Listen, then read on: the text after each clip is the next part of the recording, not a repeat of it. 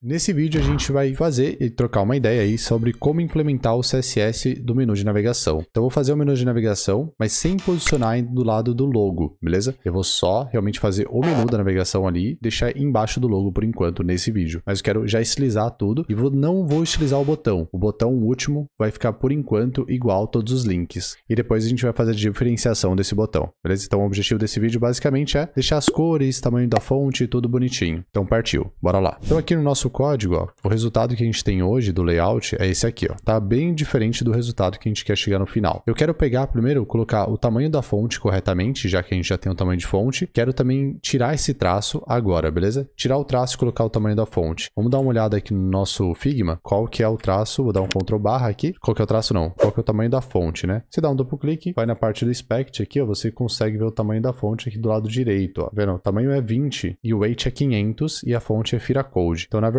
esse 500 é bold, né? A gente quer deixar como bold e a fonte é Fira Code, tamanho 20. Por acaso, acho que a gente colocou o tamanho 20, na sorte mesmo. Foi isso mesmo. Então já tá 20 e a cor. Qual que é a cor? A cor é a cor branca, mas a cor eu vou aplicar exatamente no brancão, assim, tá vendo? Do jeito que tá aqui, com o hexadecimal. Então vou aplicar aqui o hexadecimal, que a gente já aprendeu, já expliquei para vocês o hexadecimal. Dei um FFF. Você pode escrever tanto minúsculo como maiúsculo. Eu gosto de escrever maiúsculo, mas é toque. Tanto faz, não vai fazer nenhuma diferença, beleza? Então essa é a estrutura que nós temos. Não vai mudar nada por enquanto no nosso layout, ó. Se eu der um refresh aqui, tá continua do mesmo jeito. Agora eu quero alterar essa fonte, né? Quero usar essa fonte Fira Code. Aqui embaixo, ó, um pouco mais para baixo, ele até fala o código para você mudar a fonte, tá vendo? É só usar aqui esse é, fonte family Fira Code. Então a gente vai fazer isso, vamos testar, vamos ver se vai funcionar, né? Então vou aplicar aqui fonte family, family, ponto, Fira Code. Desse jeito aqui, ó. E aí a gente coloca entre aspas o Fira Code aqui, ó. Vamos ver se vai legal. Beleza? Ponto e vírgula. Vou salvar, vou no navegador, vamos dar um refresh. Olha lá, já funcionou, beleza? Só que repara uma coisa interessante. Funcionou por quê? Porque eu tenho essa fonte baixada na minha máquina. Só que essa fonte não é padrão nos sistemas operacionais. Aí a gente tem que fazer um rolê, beleza? Que é usar uma fonte do Google. O Google tem um recurso chamado Google Fontes, que ele lista todas as fontes pra gente e a gente consegue fazer com que o site carregue a fonte a partir do Google. Esse é o rolê. E aí, mesmo sem o usuário ter a fonte definida na máquina dele, baixada, como eu tenho, beleza? Ainda assim o site vai usar a fonte que a gente quer. Caso dê algum problema no, no Google, eu vou mostrar como que a gente pode implementar uma segunda opção de fonte. A gente chama isso de fallback. O termo em inglês é uma coisa não funciona, a gente chama outra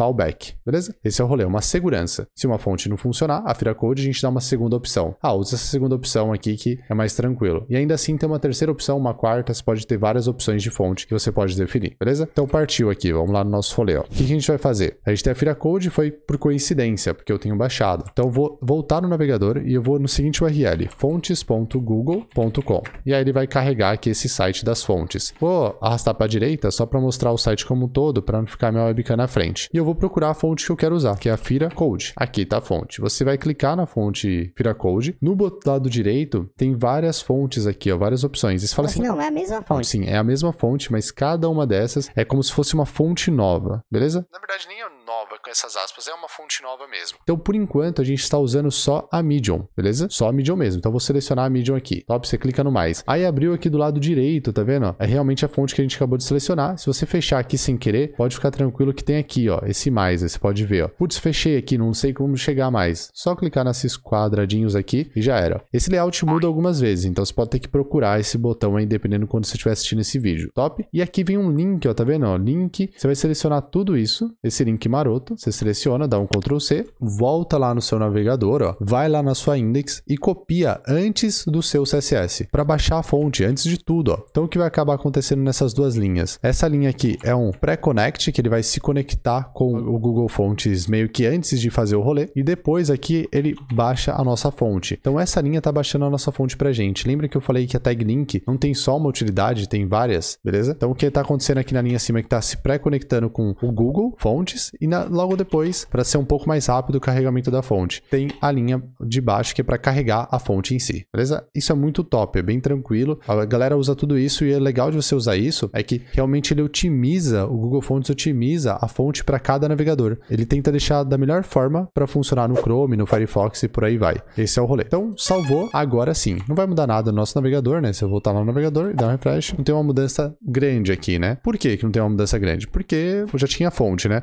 Acabou mudando mudando só para bold ali, porque a bold é a única opção que a gente tem. Só que no nosso código, a gente tem que definir o, a fonte como bold. Como é que a gente faz isso? Fonte, traço weight, que é o peso da fonte. E a gente pode definir tanto como bold, assim, ou como 500. Eu prefiro deixar como 500 porque é mais declarativo, dado a situação que a gente tem aqui no nosso layout. Ó. Repara que o nosso layout está 500, aqui do lado direito, quando a gente está com a fonte selecionada. Eu prefiro deixar do mesmo jeito, beleza? Esse style aqui, só por curiosidade, que você vai ver aqui, a fonte style normal. Do que, que se refere esse style, fonte style normal, né? Se você declarar aqui fonte style, ó, na curiosidade, você já vai ver, ó. Fonte style, dois pontos, é para deixar itálico, para deixar esse oblique, beleza? Essa é a ideia. Você tá trabalhando com a inclinação da fonte, basicamente. A gente não quer nada inclinado, que é o normal, então a gente não precisa definir. Apesar de estar tá aqui, né, no nosso body, você não precisa definir porque é o padrão. Então eu não vou ficar definindo uma coisa que já é padrão. O padrão não é ser itálico, o padrão é não ser itálico. Então fonte style deixa do jeito que tá. Não precisa ficar reescrevendo, beleza? Salvou, volta do navegador, dá um bizu aqui, ó, tá legal, tá funcionando bem. Olha que legal. Beleza? Então, a gente baixou só uma fonte, lembra disso. Voltar ali só no Google Fontes para explicar. A gente tem outras opções de fonte. Como é que você pode verificar todas que tem? Você pode vir até o seu layout e realmente dar uma olhada, né? A gente tem o bold aqui, parece que aqui também é bold. Vamos ver se tem a Fira, a Fira Code. Ó, aqui, ó. O que, que será que tá aqui? Eu vou dar um duplo clique, ó. Aí você olha aqui, ó, normal. Opa, eu tenho que baixar a normal, hein? Ah, normal não a 300, tá vendo? Ó, mudou. Normal não, 300. Então eu vou também baixar a 300, ó. Vou deixar selecionada, aí muda, tá vendo? Ó, tá baixando duas fontes agora. Muda o link, então vou ter que copiar o link novamente, voltar ali no navegador, já copiei a última versão, né? Vem aqui e cola o rolê, beleza? Pronto, isso é o suficiente mesmo pra gente ter o link na felicidade. Top? Vou salvar, voltar lá no navegador, dar um bisu aqui, ó, e dar um refresh. Continua igual, porque é a nossa definição de bold, mas já tem duas fontes baixadas. Agora eu posso usar 500 e 300 sem problema nenhum, beleza? Esses dois pesos da mesma fonte. Top? Então, por enquanto aqui tá legal, mas eu tenho que tirar o tracinho. Bora tirar o tracinho? Para tirar o tracinho, é, a gente vai mexer com a fonte, mas não é com a fonte especificamente, é com o texto da fonte. Então, como é que a gente faz isso? A gente vem aqui, ó, usa o text decoration, dois pontos, none. O que tá hoje é uma opção chamada underline, que é o tracinho embaixo. Tem, uma, tem outras opções. Para descobrir as outras opções, Ctrl barra de espaço, vai aparecer uma lista aqui para você das opções. Por que, que não apareceu? Dois pontos, Ctrl barra de espaço. Aqui, ó, underline e tem umas cores aqui malucas. Caraca, eu posso aplicar cores, eu nem sabia. Olha que loucura. Então já descobri que podia aplicar cores no rolê. E tem essas aqui são os rolês. Cadê essa daqui não? Essa aqui, ó. One set, transparent, esses valores que são da fonte. Ah, já vou dar mais uma dica legal. Aqui, ó. Aqui tem os rolês, ó. Dash, dot, beleza? Esses outros aqui, eles fazem uns tracinhos, fazem umas coisas em cima da fonte, ó. Que legal. Esse que não fez, caraca. Cadê? Tem um que é o, o underline. Deixa eu tirar o none pra te mostrar. Olha lá. É bom acontecer isso. Eu esqueci, beleza? Eu não lembro mesmo. De verdade. Como que eu faço para lembrar todas as propriedades desse rolê? MDN, text, decoration. Já vou mostrar para você uma forma de você buscar. Então você vem aqui no MDN, ó, que é de Mozilla Developer Network. Então a Mozilla mantém uma documentação que fala as coisas de CSS, JavaScript e HTML. Essa documentação é a documentação oficial. Cuidado, não use um site chamado W3C School. Esse W3C, W3 na verdade. School não tem nada a ver com a especificação, beleza? Eu nem entrei na parte de especificação, mas quem escreve a especificação do HTML e do CSS são duas organizações. Uma chamada W3C e outra chamada WatchWG. Mas isso é só uma questão de histórico das coisas. Mas a documentação mantida por essas duas organizações é a MDN. Então é a Mozilla Developer Network. Olha lá, aqui você tem tudo, ó. Olha que interessante. Todas as opções. Aí você consegue ver o resultado aqui do lado, ó. Tá vendo? Por isso que pode definir a cor, tá vendo? Você pode definir a cor do traço, ó. Show? Então tem todas essas aqui mesmo, ó. Essas opções. E tem provavelmente tem mais, deve ter uma lista aqui, então não se preocupa. Por enquanto, o que eu quero que você entenda é que existe underline, existe esses pontinhos aí, não funcionou por algum motivo dos pontinhos, mas estava ali. E eu quero o none, quero remover, beleza? Mas sempre olha no MDN, porque algumas coisas eu esqueço e é normal você esquecer. Eu não quero que você decore, quero que você saiba programar e saiba fazer busca, beleza? Esse é o rolê. Vamos voltar no nosso navegador, vamos ver se já tá bom, né? Se a estrutura tá legal pra gente, ó. Deixa eu voltar aqui. Olha lá,